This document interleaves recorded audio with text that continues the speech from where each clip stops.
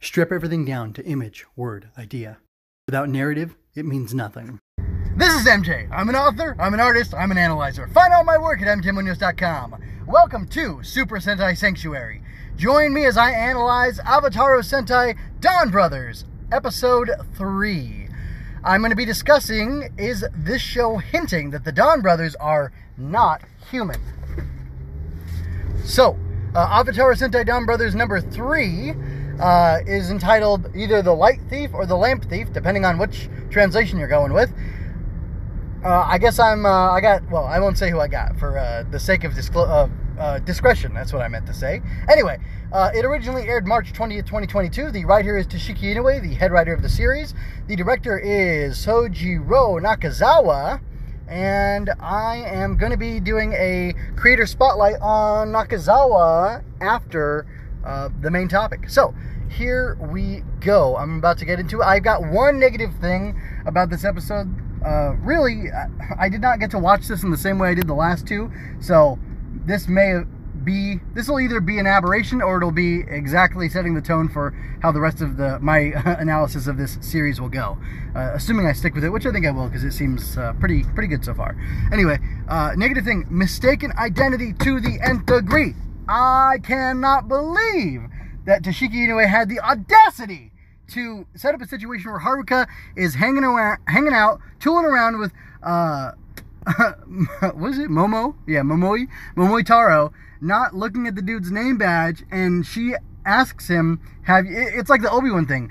Have you ever heard of Obi Wan Kenobi? Well, of course I can. You know, he's me, or you know, of course, yeah, I've heard of him. He's me. It's like, wow, really?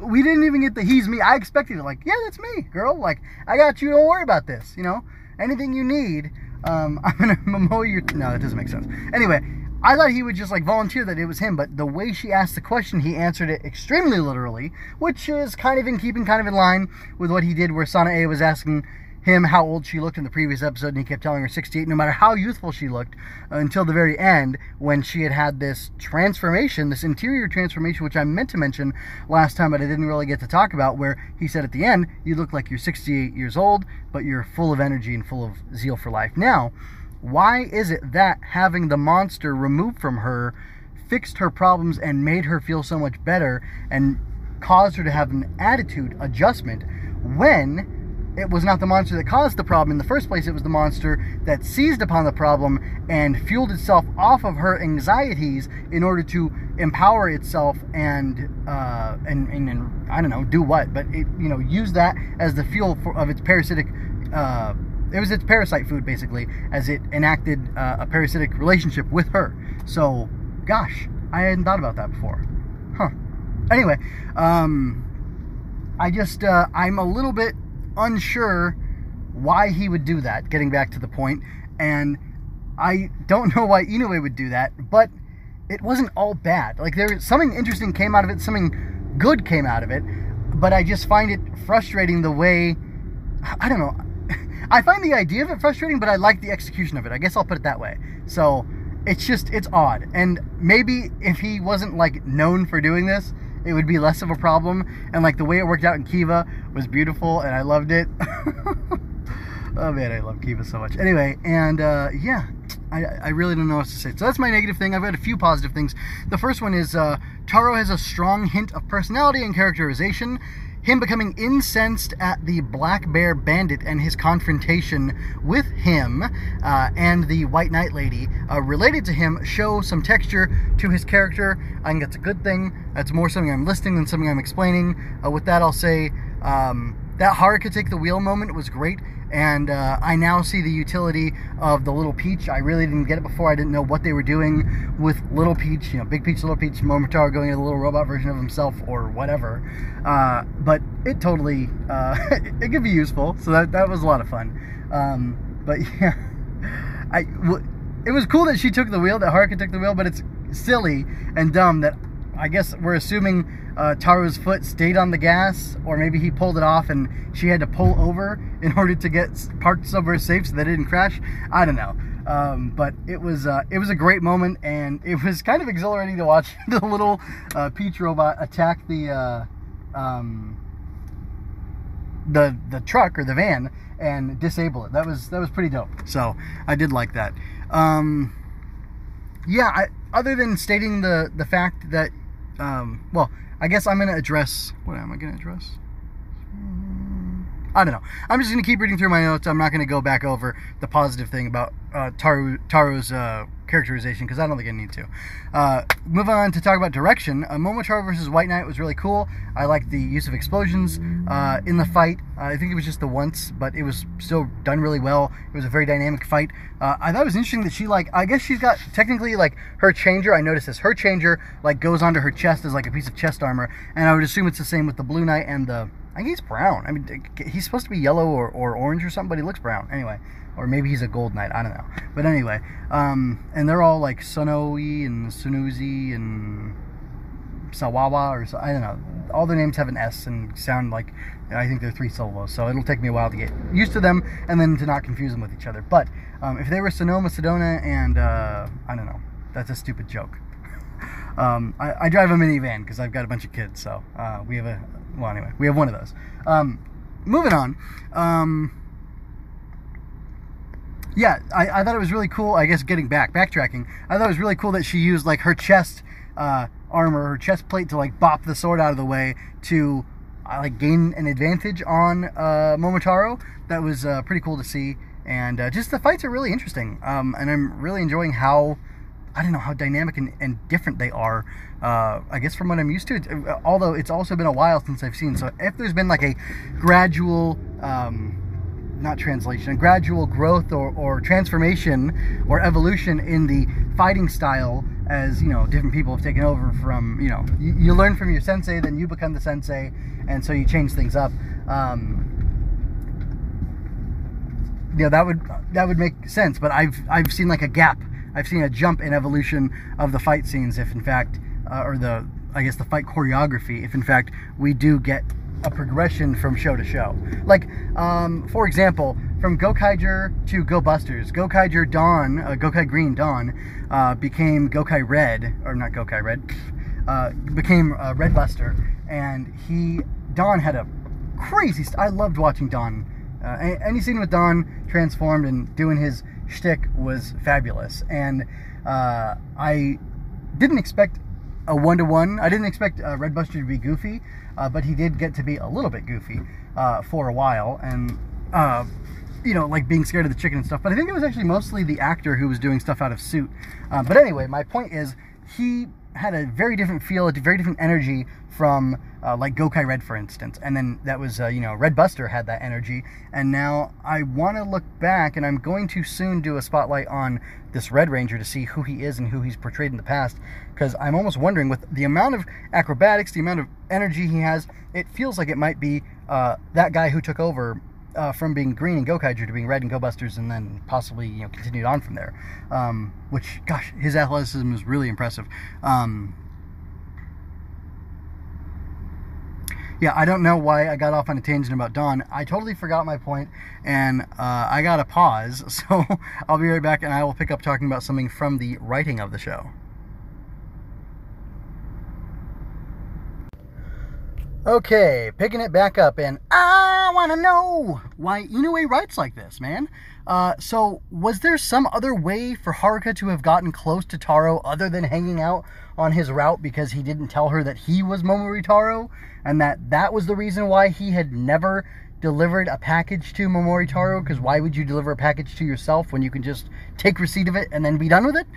Which is a ridiculous, like, semantic BS, you know, whatever. Uh, I, I, I just don't, I don't know. But anyway, like, I wonder if, if, I feel like Inoue writes like a troll and he just loves doing stuff that's kind of irritating and you want to hate him for it, but it's like, you know what? You actually did a pretty good job at that. So I don't know why you chose to do it that way, but if you must paint, you know, the house by standing on your hands and using your feet, do it. You, you did it just as fast as somebody standing on their feet and using their hands. But I don't know why you would do that. And that's kind of what he seems to be like sometimes. Anyway, moving on uh, to reflections to try to close things out here. Uh, Taro tells Haruka, I don't hit people, after he flicks nuts at some toughs attacking her. This is while they're on his route. Uh, later on, he fiercely attacks the White Knight Lady. After she is gone, the White Knight lady, he attacks the rest of the Don brothers, Don brothers rather. But it feels somewhere uh, between his attacks on uh, foes and lively sparring, and it's hard to read the situation. And it's played for laughs too. It's not like he's, you know, it's not like like Black Hazard in uh, in Kamen Rider Build. It's not like that, you know. Um, so I just I don't know what's going on there. And then what's the last thing? Okay, yeah, yeah. So keeping those factors in mind, uh, could these be hints that Don Brothers are not, or the Don Brothers are not, or are no longer human? And what are the implications of that? And what is their true identity? So, how and why am I going off on this possibility of them not being human? Well, he says he doesn't attack people or he doesn't hit people, so you know that's why he flicked the nuts at the guys. Um, but he also is questionably human. Like it's very possible that Momotaro is not a human. Uh, kind of like how in and I don't remember how they address this in the Legend of Momotaro, other than you know he, he comes out of the giant peach, so he's Peach Boy. But uh, in the Legend of Princess Kaguya, I believe she is a angelic, heavenly, divine, moon, whatever. She's a, a, another being from another plane. She's not human, and she goes back home. Spoilers. She goes back home at the end. By the way, if you haven't seen the Ghibli uh, Kaguya movie, you should. It's really good. Anyway, um, but yeah, Kaguya goes back home because she's not of this world. I can't believe I just said that. Uh, she's not of this world. She's, uh, you know, a, a, a, goddess or a whatever. A kamu. It's the same thing. Anyway, uh, so she goes back to her world, and that's it. So is Momotaro to have to go back to his world, as, or you know, Momoitaro going to have to go back to his world at some point at the end of the story? Uh, you know, is he not human? Are these other people not human like him? Is that why they were chosen? Because somebody is doing the choosing here. Someone is drop. Someone dropped the phone in front of. I can't remember Saru's full name, but Saru something other. Uh, somebody dropped the phone in his path. He picked it up and uh, utilized it, or you know, the eye came out, the glasses came on him because of his exposure to the phone. But I kind of get the uh, impression that he doesn't carry a phone on his own, because he certainly doesn't carry money. Anyway, uh, I'm just really curious as to as to you know what that is. We don't know who the villain groups are.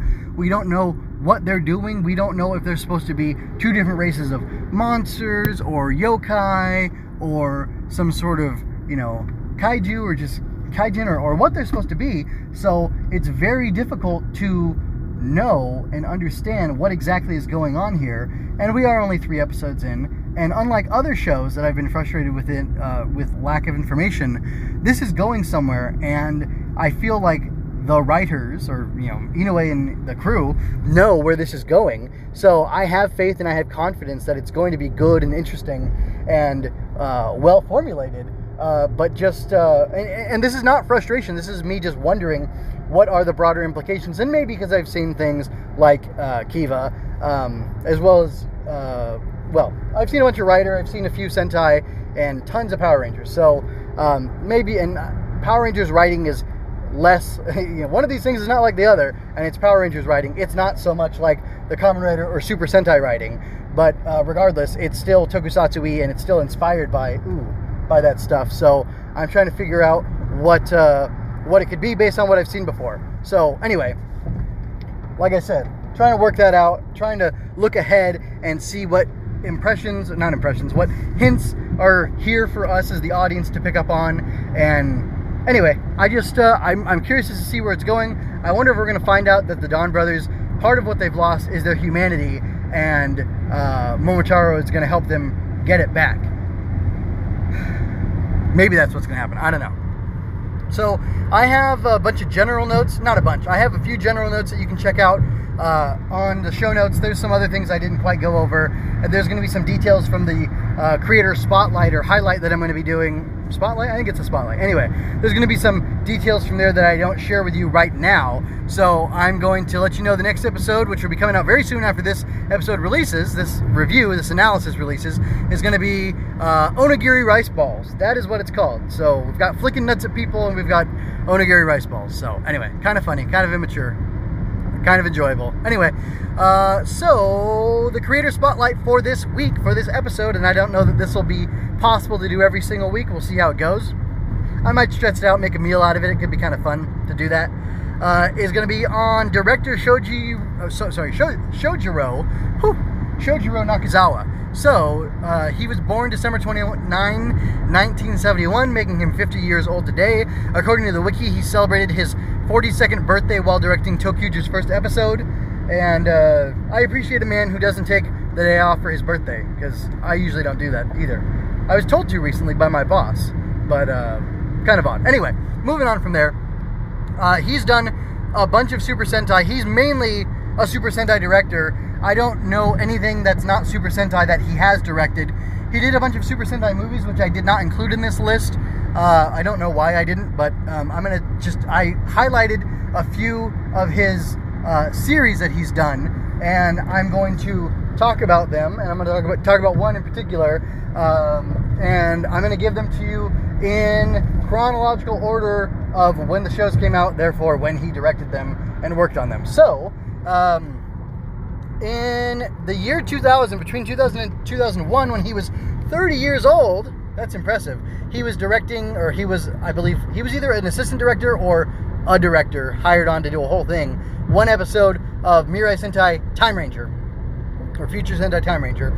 Then later on in 2005 to 2006, so four years later, or five years later, I guess, uh, he was the, or yeah, he was the main director for Juken Sentai Geki Ranger, and he directed 12 of those episodes. No, only six of those episodes himself. So I don't know how you can be the series director and only.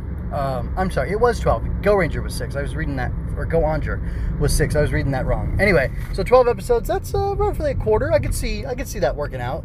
You, I, I don't know if you do that and then you if you're like the executive director, so you tell everybody else how to direct their scenes or give them ideas or talk to them about what they're going to do, you set the style and then maintain it. I'm not sure.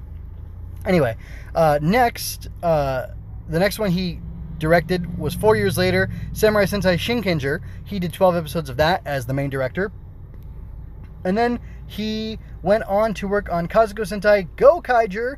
He did, let's see, 1, 2, 7, 8, 15, 16, 19, 20, 27, 28. He directed 10 episodes on that.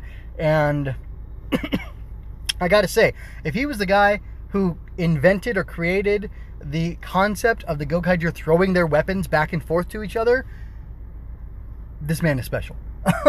I know that sounds ridiculous, and I found a little, feel a little embarrassed saying that, but for what he does for his field, for his industry, he's doing special things. He's doing some incredible stuff, and uh, I think it's really fantastic. So, um, the dynamism and the energy, the cool factor, the swagger, the personal. I just went off talking about Don for like, I don't know, three or four minutes out of this, hopefully less than 20 minute long analysis from an entirely different show who didn't appear in this show because of how much I liked him uh, and how he was directed. And that has to, I would imagine, at least be partially uh, due to the work of uh, Nakazawa here.